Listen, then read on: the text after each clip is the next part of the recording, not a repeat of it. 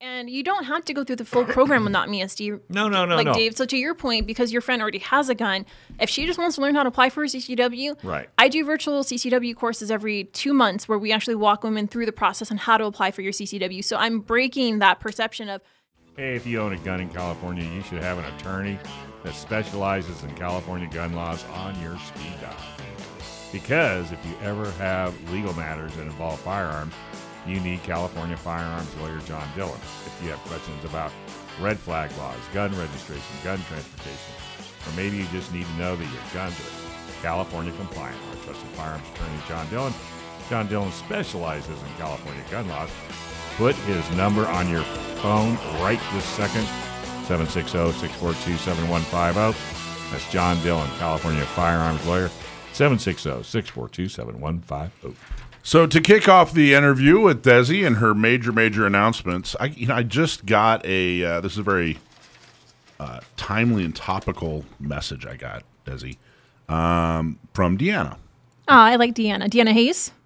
Um, I don't remember okay. her last name. All right. It's all good. Anyway, she wrote uh, and said, "Happy Labor Day weekend. I received my CCW permit in the mail this past week. Thank you again for helping me. I will feel so much safer now shooting photos. At, yeah, it is Deanna Hayes shooting Yep. photos at night. Deanna is a uh, photographer, single woman photographer." Um, and uh, she uh, she goes out at night. She does a lot of moons. In fact, like once a week, you know how in KUSI they show a picture when they do the weather. Like once a week, it's her. They're always using her photos, and she's just an ind- independent photographer. But she goes out at night with expensive equipment by herself. She's you know single woman, and boom, now she's safe thanks to not me. So I wanted to read that to you on the air Thanks, Mike. as evidence of the fantastic work you do as the program director for uh, Not Me SD. So how you doing? I'm good, Mike. How are you? I'm fantastic. So talk about Not Me SD and what uh, what what how, how do you how, how do you want to lay this out? We got a couple of segments. Yeah, we got a couple So segments. let's build the suspense. we're gonna build the momentum and the Yeah. suspense for what we're gonna announce today, because again, it's gonna be a double whammy, not just one that I had promised. So you know what we should do? We should we should make the announcement right at the end of the segment. So let's all Well, like a little teaser. yeah, let's sit quietly for ten minutes until the end of the segment, and then we'll make the announcement. Really build the suspense. So we're gonna build the suspense. We're talking about some history. We'll we'll kind right, of fill the time. So That's a better idea. Let's talk about the history of Not Me SD. So Not Me SD was founded back in 2019 and was San Diego County gun owners' response to help combat sexual assault and domestic violence in San Diego. Exactly. You want to hear this specifically how that actually happened? Of course, Mike, this was your founding. I, I read an article. Um, I was I was reading an article. You know, people send me anti-gun articles all the time, pro-gun articles too. Um, but they're like, you know, I get a lot of uh, look at this article, you know, oh my gosh, you know, and honestly, I can't read them all, but this one in particular really stuck with me, and they were talking about the spike in domestic violence, sexual assault, um, and it talked about California. It talked about San Diego. I really wish I'd kept this article because I've searched for it now. I can't find it. But it was a, a thinly veiled blame on gun owners. Of course. It was actually even kind of a thinly veiled blame on on generally people on the political right, um, which I thought was ridiculous. But it was definitely a poke at gun owners, and I thought, okay, we got to do something. Like we got to do something because we're not the problem; we're the solution. And so I decided, all right, and came up with this idea of of doing exactly what we do, and um that's that's that's where it came from. And to kind of piggyback off of that, Mike, so 93% of sexual assaults are women, right? 63% of sexual assaults go unreported for fear of retaliation and or their partner. Hmm. One in three women will be a victim of sexual assault involving physical contact at some point in their lifetime. Mike, uh, in eight out of 10 cases, the woman knew the individual who sexually assaulted her. One in three women One in three women in their lifetime. in their lifetime. That's Isn't those crazy Uni- statistics? It's crazy. One in three women in the United States. Is that where they? I think in the United States, right? United That's- States. That's crazy. And if you think about it right now, too, I mean, police response times are on an all time high because they just can't keep enough staffing. And so, if you're in danger, like your life is in danger, priority one call, it's a 50 minute response time right now. Five zero minutes. Five zero minutes. That's a lot of minutes. That's a lot of minutes. A lot can happen in five minutes, let alone 50 minutes. So getting back to the history of Not Me, I mean, I love these, you know, statistics and the way we can kind of talk about how it founded. So I want to kind of talk about how I came into the picture. So Mike, I don't know if you remember when I met you. It was at a barbecue, actually at Gunfighter Tactical about four years ago. All right. Haiti introduced me to you and Wendy, Yeah. and you guys started talking about this amazing program. You're like, hey, do you want to start volunteering with us? And I was like, yeah, sure, great. So I actually started off as a volunteer. I think it was end of 2019 was when I started volunteering. And then early 2020, you guys saw that uh, there was a need for someone to kind of take a, you know a bigger role within the Not Me SD program, and you knew the skills that I possessed and the, how amazing I was. So Well, let's talk about that for a second. It, it wasn't that we saw a need; we were inundated. right, We had no idea when we did the we did the press conference in uh, April of 2019. 2019. Yeah, that sounds about right. And I remember thinking, okay, we're gonna do this press conference, and if we get a dozen responses, that that'll be a good day. You got 150. Yeah, we got 150. 150. and we were in it that first year.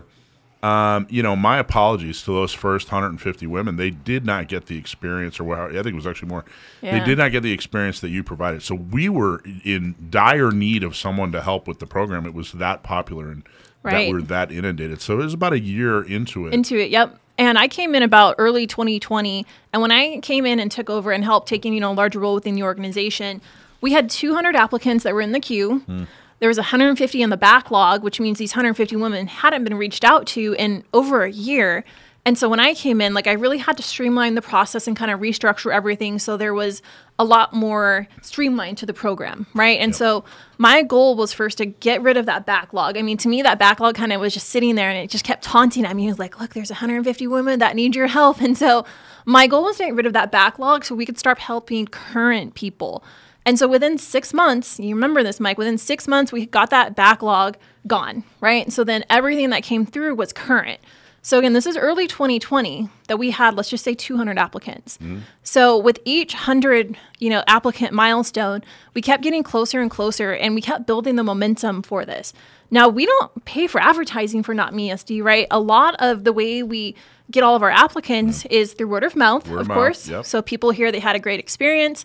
I've been going on KUSI a lot, and that's earned been media. Earned, media, is very effective. very effective. And then, of course, through our shooting socials. So, a lot of times when we're at our shooting socials, I mean, 75% of the individuals that are there are women.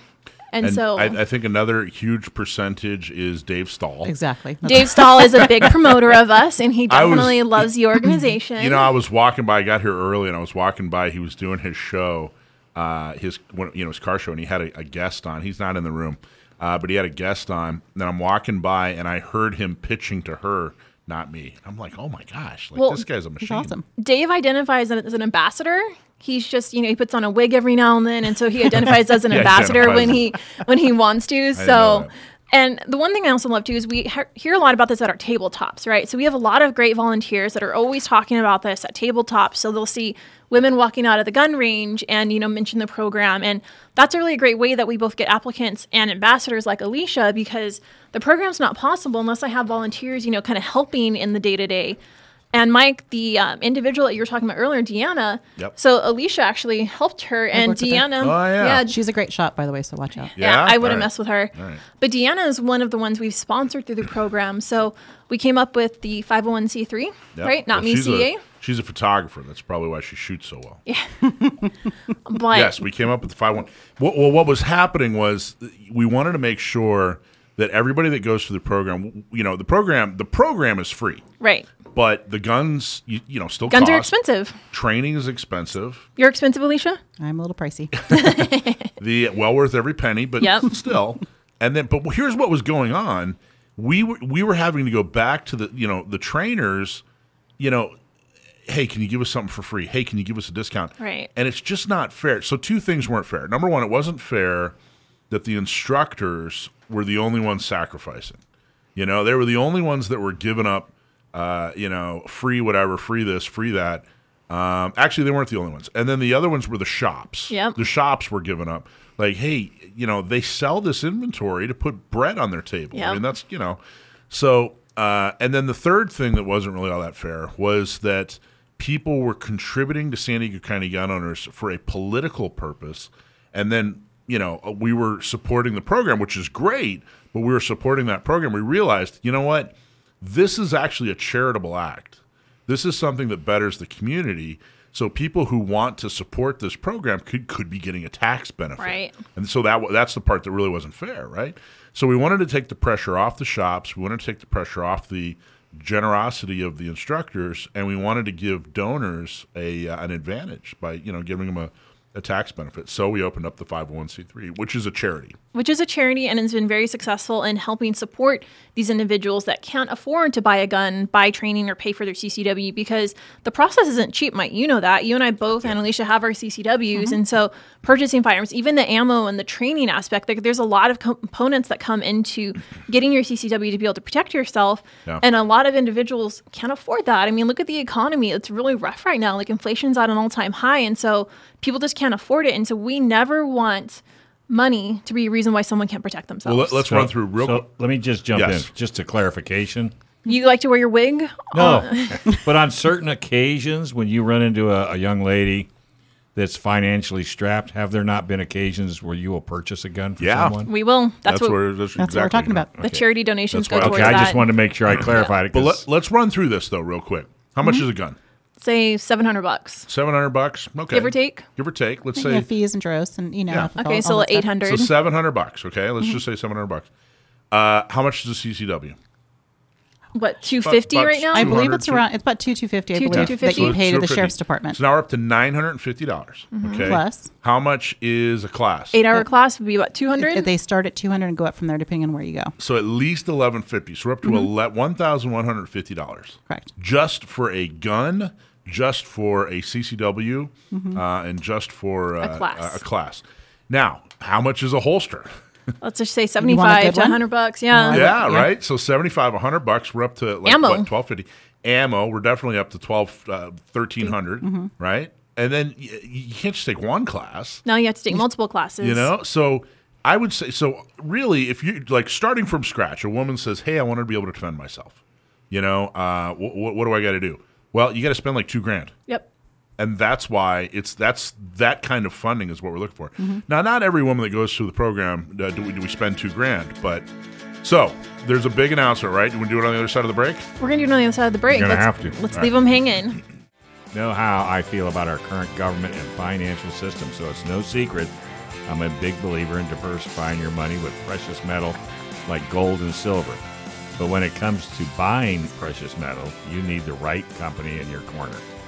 That's why we partnered with the top rated precious metal company, Goldco, because reputation matters. Goldco is a six times Inc. 5000 winner, 2022 Company of the Year, and they've helped people like you and me place over $2 billion in gold and silver. And right now, they're offering gun owner radio supporters up to $10,000 in bonus silver when opening a qualified IRA account. This is your opportunity to protect yourself from our out of control, corrupt government. Hmm. Don't pass it up. Grab your phone today and give Goldco a call. Take Yeah. action today so you don't regret it tomorrow. Call Goldco at 855 612 6354. That's 855 612 6354. And tell them you heard about it right here on Gun Owners Radio. Yeah, we talk about all kinds of metal: gold, silver, copper, lead. Brass. Brass. We're all about metal. We're a metal show. Uh, all right, so Desi, so we set up a bunch of context here. We did. You, you you came in and saved the day after we set I up a saved the program day. for women. Yep. We Rode in on my white horse. that's right. Saved the day. We there's it's expensive as everyone knows. I mean, you start Yep. from scratch. It's expensive to uh, to effectively be able to defend yourself. Not only have the tools, but have the knowledge and have the uh, Courage to protect permit. yourself. Yep, all that other good stuff. Yep. And uh, uh, so we talked about that. We talked about how we set up the charity to support the program. Mm-hmm. So uh, continue. Continue. All right, so let's talk about the evolution of Not Me SD over the last couple of years. So, I've, what I've seen is a change in the amount of women and who actually apply to Not Me SD. So, originally, when we first started, I saw a lot of women, of course, who were victims of domestic violence and sexual assault that were reaching out to us looking for help. But we, what we also see, and have come to see a lot over the years, is women just want to start somewhere and they don't know where to start. And so, as you know, being a new gun owner, the biggest hurdle is trying to figure out where do I go to buy a gun? What kind of questions do I ask? And so, a lot of women didn't know where to start. And so, when they saw Not Me SD and what we offer, would sign up because now they actually have someone kind of holding their hand through the program so they can help them answer those questions and guide them along their firearms journey. Mike, you know that we get one shot to get a new shooter, right? Right. Once they walk into a shop, they had a bad experience, Yep, they're going to walk gone, out. right. But if they have someone that's there with them to hold their hand through the process, it's going to be a much better experience. And as you know, when you walk into a gun shop, nine times, nine out of 10 times behind the counter, it's a man. And the way men, I hate to say it, talk to women, it's a little bit differently about firearms because what's good for me might not be good for you or good for Dave. So we need to know how to kind of balance those conversations. And so as we've seen the evolution of Not Me SD, we've evolved into really just kind of being a great resource, of course, for women who are looking for help getting firearms. That's our concentration, and I love it. And we've also kind of expanded into offering other types of classes. So we have a lot of resources at these different ranges, right? Like Alicia's done a pepper spray and situational awareness class for mm-hmm. us. We've done a stop the bleed. And so we really want to be able to empower women with more tools to protect themselves, firearms being our focus, of course. But if we can utilize our resources at these different ranges and offer them at a discount, right? Like I'm never asking anybody to 100% donate their time, but if they can offer to us at a discounted rate so it's more affordable for people, that's what people like to see in the Not Me SD program. Nice. What's the most common? Is there like a what's the most common um, question or concern? Or, you know what I mean? Like when when you talk to women when when they come to us or when they reach out or whatever. What's what's the most common? Like you know, hey, this is what I need. What kind of gun do I buy? Yeah, Exactly. That's the, that's what I was thinking. I was going to say That's that's, what the I get. most common question is what gun do I buy, and that's why our shooting socials are such a great introduction because you don't have to have a gun ahead of time, right? Like we do everything for you, and so it's a great way for them to come in and shoot different types of firearms just to figure out what they want. I think that's a that's you know what that is. that's kind of the difference between someone who is is it goes into it as a hobby or an interest. Yeah, they grew up on comic books and '80s movies or whatever. And Right. Because I, knew I knew the gun I was going to buy first. Like there was no question. It What was, was just it? Glock 19. I had I knew I was going to go Glock 19. There was no question. Um, and then uh, and that was 1997. Um, and I, you know, spent a couple years. I just turned 21. Spent a couple years. Knew this guy who had one. You know, read the Punisher. Whatever. You know, I knew it was going to be a Glock 19. But people, men or women, who think to themselves, you know, they, they come at it more as a utility. Like, hey, I mm-hmm, need to defend mm-hmm. myself. Their first question is usually, well, What do- do what kind of gun what, do I yeah, buy? what do I buy? Like, Yeah. I, I need to defend myself. Which which gun is that? And e- everybody's response is going to be different. What I say could be completely different than what you say, than what Dave's going to say, and what Alicia's going to say. You're, so you're going to get mm-hmm. four different answers. And so you always want to shoot your gun before you buy it. So that way you can make sure you can handle the recoil if it's comfortable in your hand and you can shoot it accurately. But I think that difference also speaks to part of the success of, of Not Me. Correct. In that for years, I watched men say, oh, look, just show them it's fun and make it pink. And then women Make will, mine teal. or, yeah, you know, I'm, you know, I don't know any, Shrink it and pink it. I- yeah, pink it and pink it. I don't know any women who are out there going, gosh, I don't really have a lot on my plate. Sure could use more hobbies. Like that's not, you know what I mean? I mean? mean, gun hobbies are fun hobbies. You know what a lot of women come to me with when they didn't know what to buy and they let someone. They say their buy it for- husband let them buy it. a Yeah, revolver. they get they A come up with a revolver. They do. They come up with a revolver. So the the concept and the idea of a semi-automatic is a little bit overwhelming when Yeah. you don't understand it, and so they think you know less moving parts. They You know, can't a rack it. revolver, They revolver. can't rack. Right. Sometimes they can't. Can't rack. You know, revolver can be a great fit for some people, but it's not for everybody, and they just come in not knowing anything, and that's what they come in with. And So, so, so a woman calls up and says, "What, what do Mm-hmm. I buy? What? How do you? What do you do?" we i mean there's so many different questions that you can ask and that's one thing about having a great ambassador is they're very knowledgeable and knowing what kind of questions to ask it's like do you want it for home defense do you want it for self-defense you know i always ask kind of like like their size like are they tall like me because what i like might be a little bit different than someone that's a little bit shorter than me because my hands are a little bit bigger right so there's so many questions that go into helping them figure out what kind of gun they want for the reasons etc but then getting them to a range so they can shoot it is kind of like number one priority and we talk about number one priority. So kind of like how we were talking about the buildup, right, in the last couple years. So every hundred was a new milestone for us, right? So we started with 200, then we went to three, we got to five, we got to seven, we got to eight. And then at about six months ago, we got to 900. Oh. I know. So I was like, well, we've got gun prom coming up. So is there any way that I can get to a thousand by gun prom? Because that would be such a cool announcement. We'd be able to say we have a thousand at gun prom. Well, now gun prom is just a week from. Say it's almost. It's like two weeks away. I know. So how are we doing? Do we need a drum roll? We can have. Can we get a drum roll? Is there a drum roll. If he's listening. He's not listening. It's okay. So He's taking a nap. a month napping. ago, Yeah. we had our first of two milestones. So we hit go for it. 1,000 applicants for Not Me SD. One thousand applicants for One not me zero SD. zero zero applicants Applicants mean those are women who, who have applied to the program saying, I want help buying a gun, I want help finding an instructor, and I want help getting my CCW.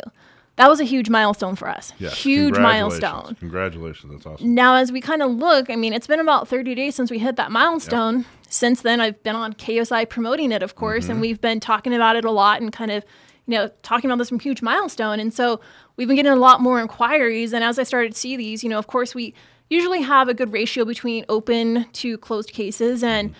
as I was kind of going through them over the weekend, I started looking at the number of closed inquiries going up, and it started getting closer and closer to being at that thousand closed cases. So I'm on the edge of my seat. you should be on the edge of your seat at this point because this is going to be What's going to happen? What's happened is we've now had a take a thousand applicants go through the program. That means we have helped 1,000 women purchase a gun, find an instructor, or apply and get their CCW. So that is a thousand more women in San Diego that are now safer because of not me. A thousand women since when did we That's start awesome. it? 2000. 2019. so what are you doing now? Where's fifteen hundred? We're, that's our next We're milestone. done with a thousand. Let's But even, on. but I mean- honestly, so it really it was 2019. But again, that first year, that were- first year was we rough. just- It was rough. just I was- It was rough. I was there the first year. she was there the first year. Maintain. So really, it was it's uh, since 2020. It's really three years, thousand women. Thousand really women. is. So congratulations. Thousand women we have armed and empowered with the tools to protect themselves. Nice.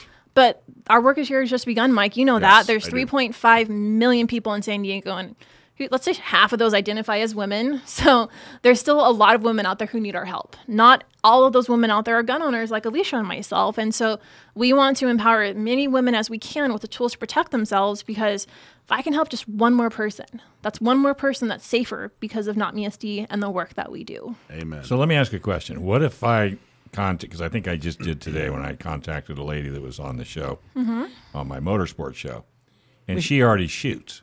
Mm-hmm. And I told her the only the ace in the hole was I said, "Would you like to get a CCW?"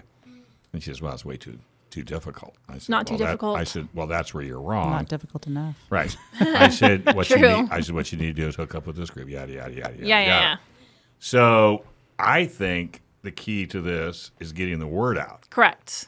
and that's the hard part. It is the hard part. I mean, I can only go on KUSI so much and let Tommy what let me talk about what about eight ten thirty nine and Fox? We have haven't you have you reached out to we them? haven't reached out to them. So that's what I would do. I would reach out, and now that KUSI, Is underneath the Fox umbrella. well, it's actually uh, North uh, Nexstar, and Nexstar, it comes out. CW six is coming into the building. right. It's going to be a while because they're going to gut the place and redo it. So, Ah. but I would go to just go to their websites.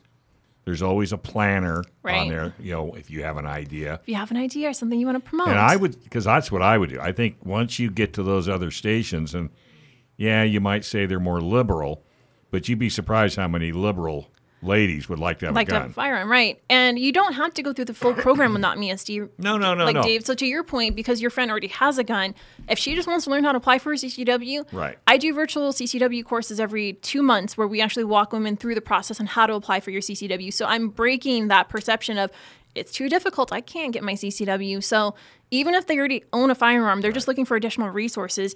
We have those resources at our fingertips, and Right. we are here to recommend that so that way they have them. So you'll get a kick out of this. They just got married seven years ago, and he made this big deal. She had to go through all these boxes to get to the to the wedding ring. Hmm.